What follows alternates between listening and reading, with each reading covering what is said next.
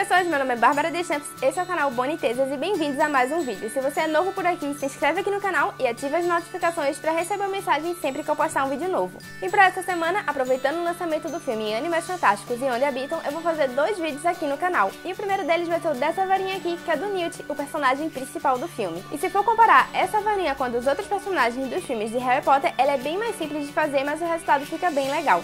Aqui embaixo na descrição do vídeo no YouTube eu vou deixar um link com algumas imagens da varinha original para vocês usarem de referência na hora de montar a sua. Se vocês gostarem desse vídeo, não se esqueça de deixar o seu like, compartilhar nas redes sociais, comentar aqui embaixo o que, é que você achou e se você ainda não se inscreveu, se inscreve e faz parte do canal. E lembra que ainda nessa semana tem outro vídeo de Animais Fantásticos onde habitam aqui no Bonitezas. Beijos e até a próxima! Para montar a varinha, você vai precisar de um palito, eu estou usando de bambu para churrasco. Também vai precisar de massa de biscuit, pode ser de qualquer cor, de pincel e tintas marrom escuro, marrom claro, preto e prata, tesoura ou estilete e um pouco de água. Para montar a varinha, você vai pegar um pouco da massa de biscuit e vai formar uma cobrinha mais ou menos do tamanho do palito que você está usando. Depois, você vai abrir um pouco essa massa e vai começar a enrolar o palito.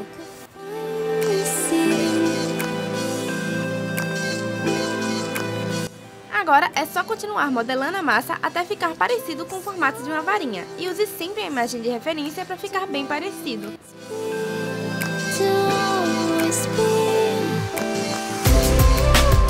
Agora, na parte final da varinha, que também é a parte um pouco mais larga, você vai pegar essa massinha e vai começar a esticar, formando como se fosse um cone.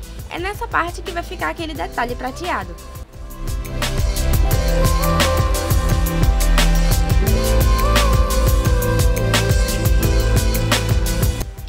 O acabamento da varinha um pouco mais bonito e mais lisinho, você pode molhar o dedo em um pouco de água e alisar toda a peça. E para fazer os detalhes de cortes que tem em toda a varinha, você pode usar a ponta de um estilete ou de uma tesoura.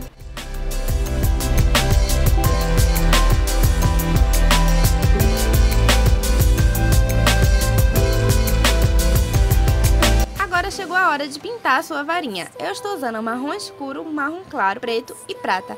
E o segredo aqui é só tentar deixar o mais parecido possível com a imagem de referência. Let's stay here. Let's stay